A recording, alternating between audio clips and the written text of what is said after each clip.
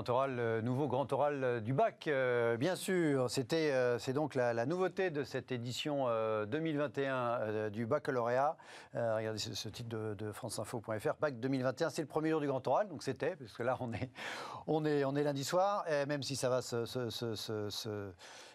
ça dure quelques temps. Nouveauté de cette édition 2021, cette épreuve inédite et redoutée, ou était redoutée par ceux qui sont peut-être passés déjà aujourd'hui. Cette année, les syndicats lycéens et enseignants avaient demandé l'annulation de cette euh, épreuve orale en raison des difficultés de préparation engendrées par la crise sanitaire. Évidemment, de fait, il y a eu quelques couacs, notamment dans les convocations, à la fois des élèves euh, et, euh, des profs. Mais bon, si, on peut comprendre que l'éducation nationale également, en cette année 2020-2021, ait connu voilà, la, nouveauté et, des bouleversements à bien des égards, comme, comme nous tous et un peu dans toutes les, dans toutes les entreprises, dans toutes les, les professions. De fait, si on, si on s'extrait un petit peu des quoi qu'il y a pu, qui a pu avoir, euh, l'un et l'autre, euh, que, pensez-vous de cette idée donc, de Jean-Michel Blanquer, le, ministre, de dire on va rajouter, alors c'est pas le grand oral de Sciences Po ou de l'ENA hein, non plus, hein, c'est vrai que ça va compter 5% de la note, et puis c'est une espèce de, de, première étape, euh, cette idée du ministre de voilà, confronter les jeunes, donc quoi, le bac 18 ans, à voilà, l'exercice d'un oral face à, un, face, à, face à un jury. Est-ce que c'est une bonne chose? Est-ce que c'est trop tôt? Est-ce que c'est trop tard? Votre, votre, votre sentiment à vous, Véronique? Non, moi je pense que c'est plutôt intéressant. Hein. Ça fait partie de la formation. On vit dans une société qui communique de plus en plus par l'oral. Alors c'est vrai que dans un pays comme la France, on a une tradition écrite qui est quand même très très ancrée, hein, historique et très très forte. Hein, euh, il faut se forcer un petit peu. En même temps, on voit bien que dans les lycées, euh, les lycées renommés, on prépare les jeunes à mmh. ces exercices oraux, à la défense de thèses, de, de discussions, d'échanges, à la préparation aussi. C'est une histoire de culture générale. Hein, bien souvent. Donc, euh, je trouve que généraliser cette pratique, c'est assez intéressant. Il faut du temps, il faudra que les cursus euh, préparatoires se, rodent également, hein, y compris euh, sans doute du côté des professeurs d'ailleurs, hein, des enseignants. Bien sûr, oui, c'est une nouveauté pour tout le monde. Et voilà, il ne faut pas basculer dans l'oralité totale mmh. et tous ces travers éventuels. Mais voilà, je pense que moi, ça me paraît un plutôt intéressant et un, un complément de formation important. Bah, je continue avec vous, deux secondes. À titre personnel, quand est-ce que vous avez été pour la première fois confronté? Euh, Alors, vous n'avez pas préparé, hein, je vous ai pas posé, je vous ai pas dit que j'allais vous, mais mais ou dans la, universitaire, enfin en tout cas post post bac, voilà, un espèce d'exercice oral, un peu un peu académique comme ça, qui euh, qui peut-être euh, vous effrayait ou pas à, l'époque, ou est-ce que c'est des de mémoire, je suis pas sûre d'être très très précise, mais j'avais fait une option, ça devait être en licence ou en, en maîtrise de licence plutôt, mm. préparation aux concours administratifs. Donc euh, voilà, là on était vraiment dans cette logique où on se préparait à, des questions. Face à un jury, hein, au, sens physiquement physique du terme. Avec euh, des questions de culture générale, mm. beaucoup bien sûr sur nos institutions, puisqu'il s'agissait de, concours particuliers. Mais euh, voilà, et c'est vrai que c'est un travail très spécifique. Alors, on, se prépare déjà un peu pour le bac, parce qu'il y avait des oraux, de toute façon, au moins sur les langues. Sur les hein, langues, sur le français. pas sur quel sujet vous allez. Enfin, quand moi je l'ai passé, quel sujet on allait bien devoir débattre avec le professeur dans une langue étrangère qui plus est. Hmm. Donc, euh, c'était pas tout à fait nouveau non plus. Mais voilà, oui, c'est un exercice très particulier. Il faut peser ses mots, il faut être suffisamment habile aussi quand on n'a pas forcément une réponse toujours claire. Hmm. Hein. Donc, euh, euh, voilà, je trouve que c'est un bon exercice qui, normalement, doit aider à aiguiser ses atouts aussi. Mmh. Lénaïque, votre, votre sentiment déjà sur l'instauration de cette épreuve?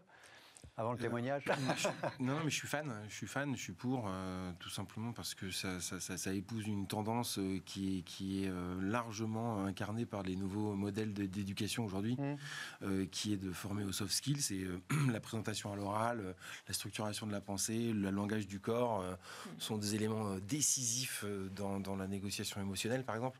dans tout ce que le, le message qu'on veut faire passer, la façon de le verbaliser, de le faire mémoriser. Donc, être, plus, être plutôt confronté à ce que nous réserve l'actualité d'aujourd'hui, je trouve que c'est une bonne chose. Hmm. Euh, très bonne chose.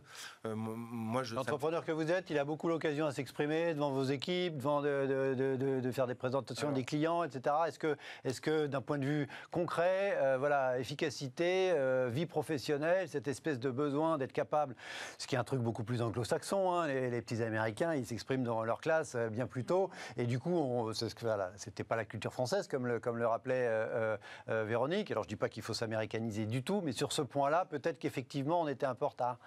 Oui, nous très clairement, cette culture du pitch, cette culture de la présentation orale, elle est très présente.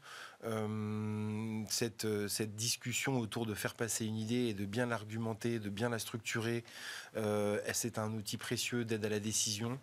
Euh, donc, euh, donc on l'encourage à tous les niveaux euh, de, de, la start-up, hein, mm. de, l'entreprise. La Cocoon Academy, par exemple, qu'on a lancé, c'est un modèle nouveau, quoi, dans lequel effectivement on utilise beaucoup cette formation à distance et qui met en, on se met en scène hein, assez souvent. On va même chercher des, des gens du théâtre hein, pour être encore meilleur dans, dans cette exposition-là. donc, donc moi, je, je, suis très content. Vous faites votre, votre Jean-Michel Blanquer interne là, à pousser les gens effectivement à organiser des épreuves orales, enfin, qui ne sont, pas, qui sont pas sanctionnés par une note, mais, mais, mais qui en tout cas permettent de s'améliorer. Euh, figurez-vous que sur des animations un peu happiness management qui sont un peu tournantes chez, chez Cocoon, on avait à un moment donné un petit jeu où il fallait éviter le E mmh. entre chaque succession de mots. Je peux vous dire que rien que cet exercice-là, non seulement il est drôle, mais en plus il est très révélateur parce que c'est très difficile d'arriver à structurer correctement mmh. une succession de mots.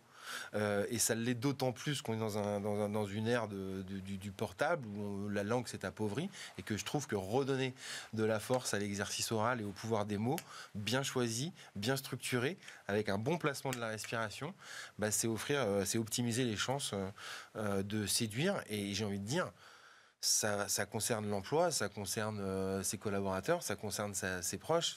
Enfin, voilà, la structuration d'une idée et d'une argumentation. Oui, dans la vie de tous les jours. voilà.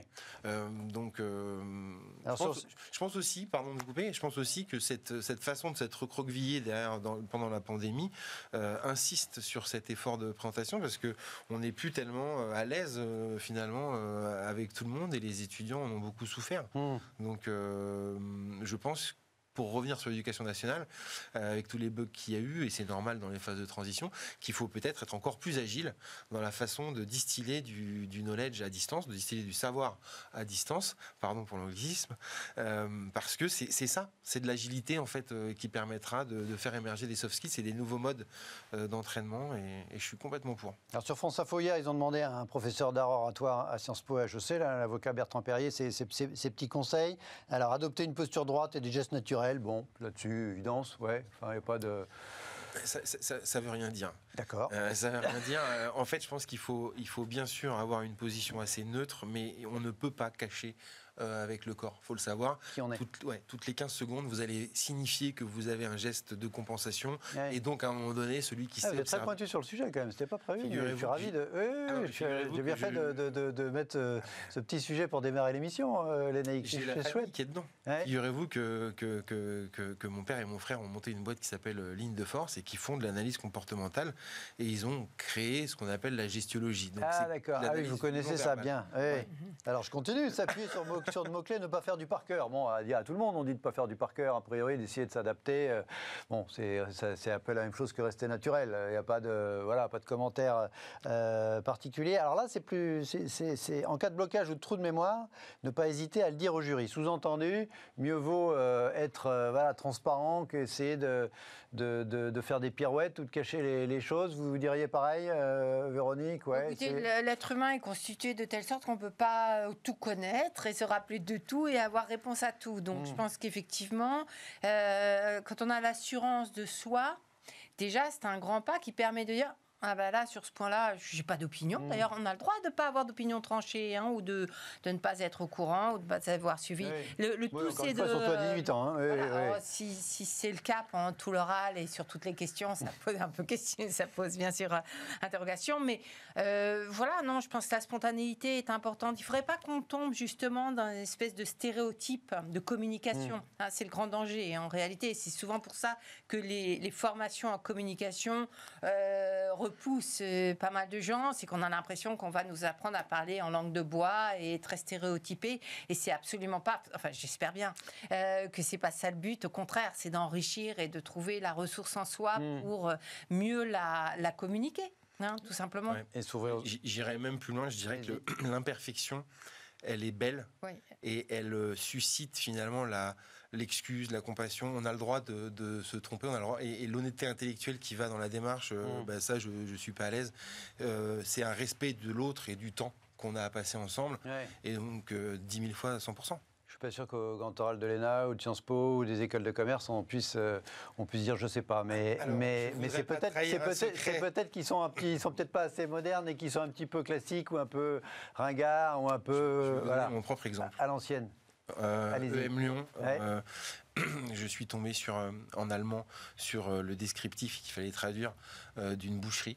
Euh, évidemment, je savais que c'était une boucherie. Bon, bah, j'ai enchaîné avec euh, humour, euh, la tête de porc, le pied de porc. Je savais même pas de quelle pièce je parlais. Ça a fait rire la personne. Hmm. Ça m'a pas, ça m'a pas, ça m'a permis de m'en sortir. Ça m'a pas. En fait, l'enjeu principal, c'est que ça vous est pas, voilà, ébranlé vous-même. Voilà. vous, ne connaissez pas ce sens-là. C'est pas grave. Vous avez compris que c'est la description d'une étale de boucherie. Vous rigolez avec. Bravo en fait.